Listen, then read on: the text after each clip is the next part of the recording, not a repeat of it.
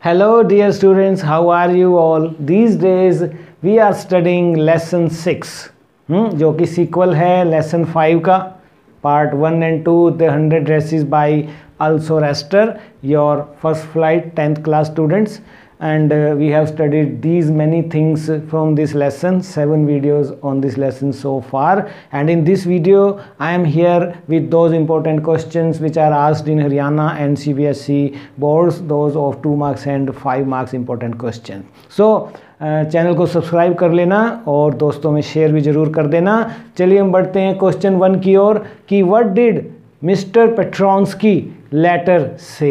क्या उसके पत्र को आपने पढ़ा? ये लेटर था उसका। तो क्या पढ़ के पता लगा? उसने कहा कि my daughter Wanda would not come to school any more और नहीं आएगी भाई वो। Because they were moving to a big city ये लिखिए आप। रीज़न दीजिए। क्यों? In that city there would be no fun on names जैसे यहाँ पर मेरे बच्ची को तंग किया जाता था ना कि उसका नाम बड़ा लॉन्ग है वियर्ड लगता था आपको तो there were plenty of names funny names in the city it's कि वहाँ तो हैं, शायद हम बच जाएँ तो ये वो पत्र में उसका पत्र कहता है। तो जब वो पत्र मिस मैसन पढ़ती है तो क्वेश्चन आता है, वो एंग्री होती है कि ये तुमने क्या किया बच्चों?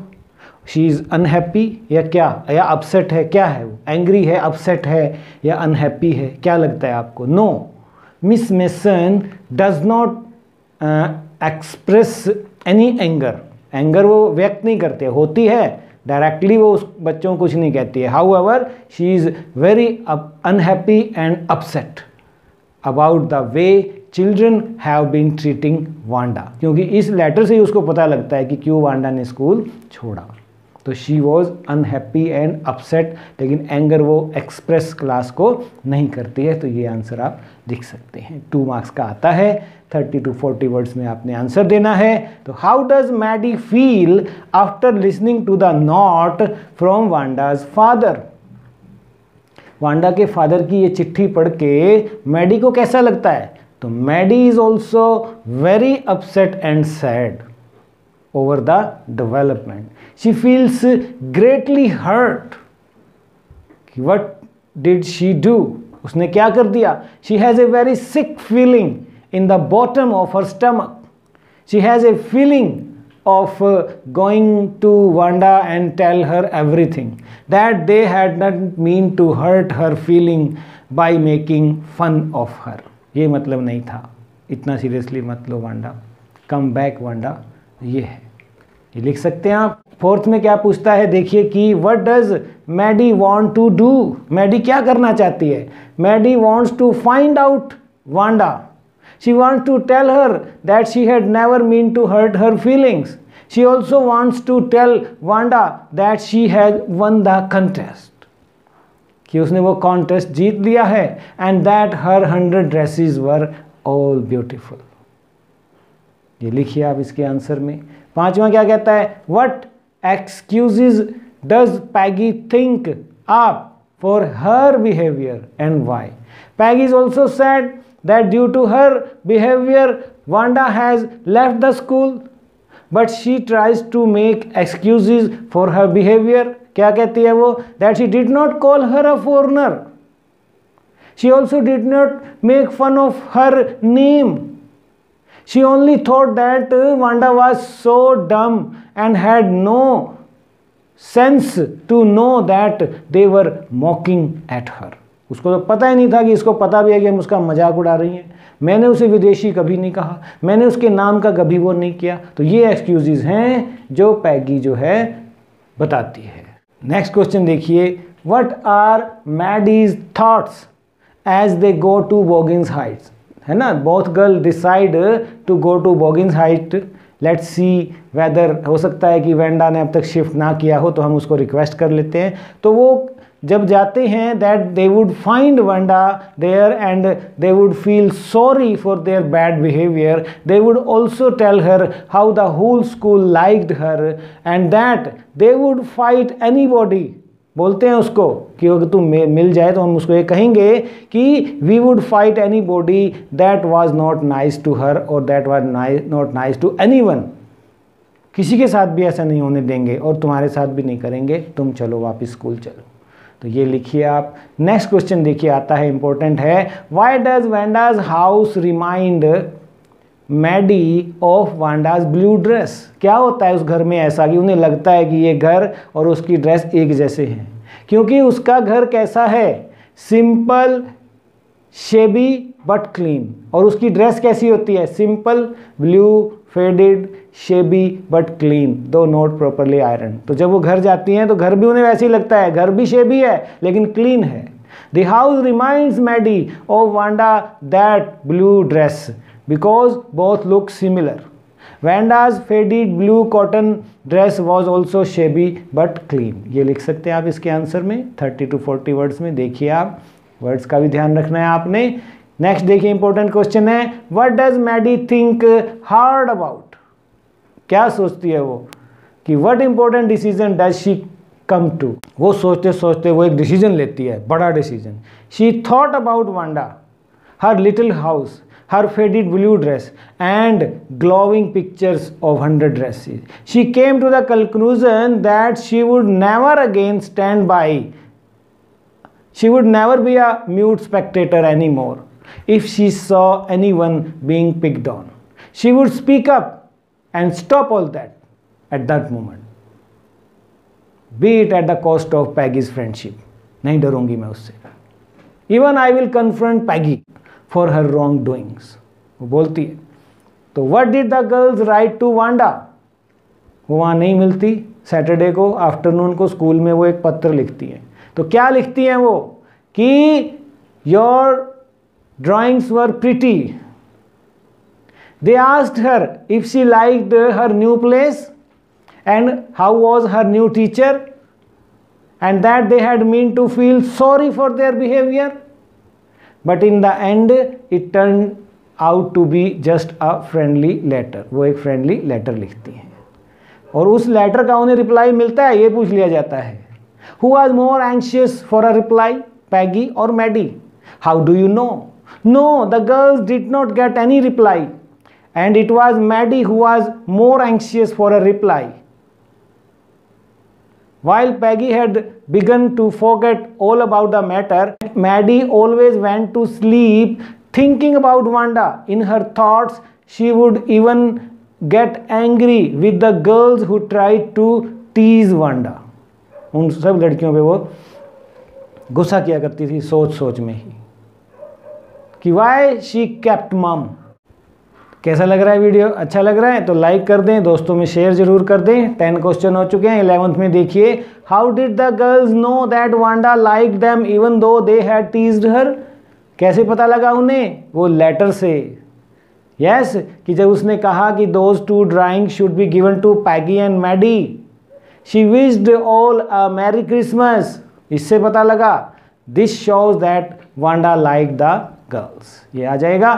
और कुछ आपकी बुक में भी हैं जो टेक्सचुअल क्वेश्चन है, वो मैं लेकर आया हूँ आपके लिए। फ़र्स्ट वन देखिए why do you think Wanda's family move to a different city पाँच नंबर में आ जाता है। Do you think life there was going to be different from for their family क्या वहाँ अलग होने वाला है? तो Wanda was ridiculed by Peggy Maddie and other girl just because she had a long name and because she was a poor girl because she was a Pole, just because she wore the same blue faded dress every day, they mocked at her.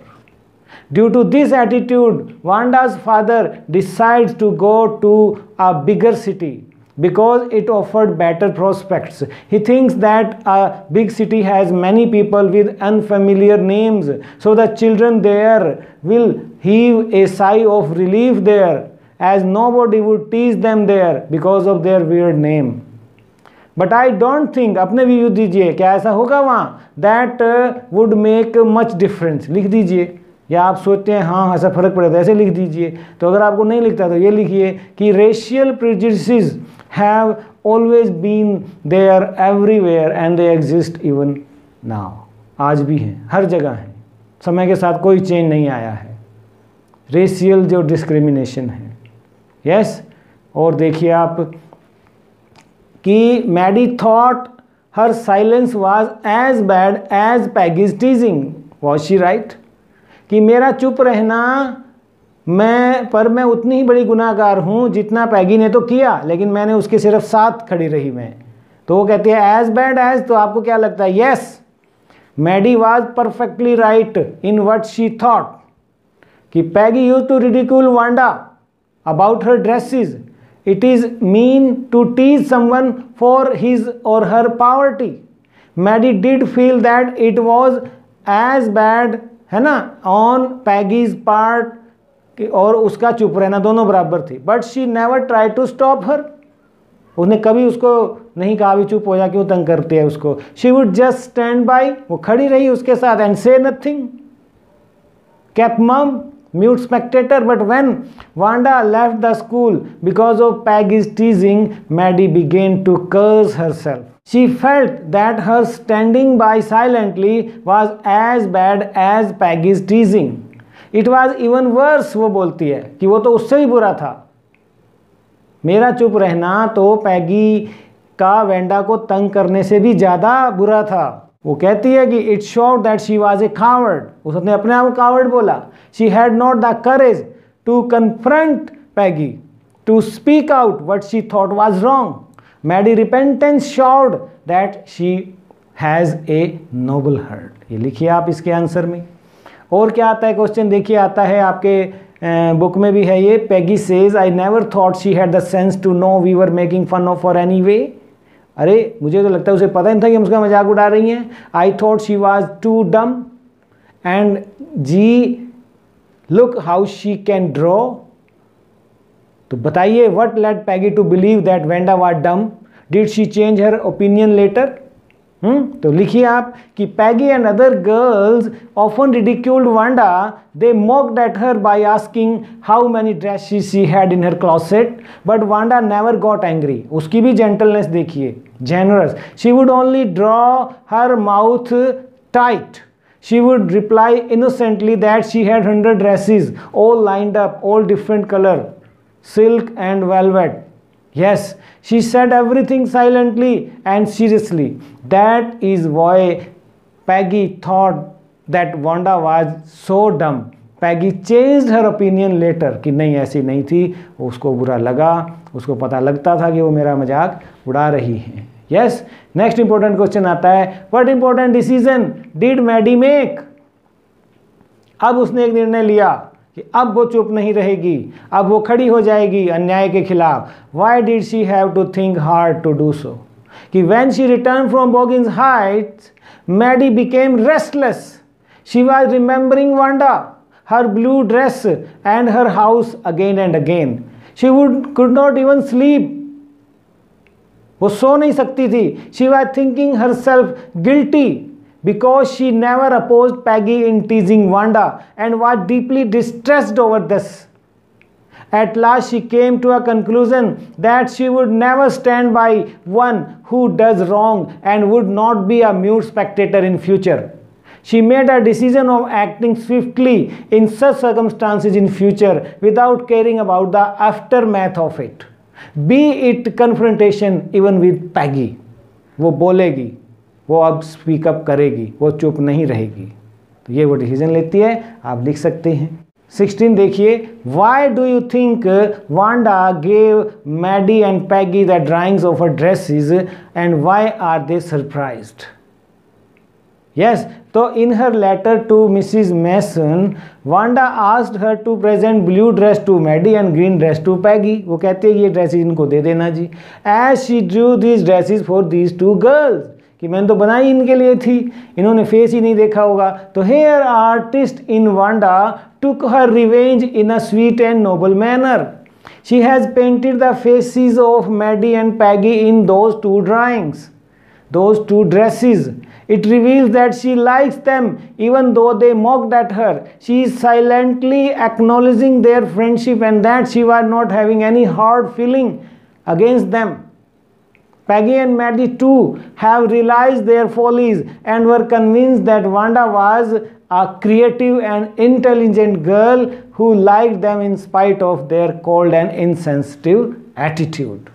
ये answer आप लिख सकते हैं five marks का आएगा ये most important है last but not the least दो नंबर का पूछा जाता है do you think Wanda really thought the girls were teasing her आपको क्या लगता है कि वांडा जानती थी कि लड़कियाँ उसको तंग कर रही हैं या वाकई वो डम थी why and why not yes Wanda did know that they were teasing her but she never reacted she was very wise for her age she won the contest and thus put to shame all those who teased her ये आप दो number में लिख सकते हैं hope it should be clear these important question which are asked in Haryana board and C B S E board if still anything you can feel free by going to comment section and write there I will clear all your doubt about the lesson hundred dresses one and two बहुत कुछ इस पर आ चुका है।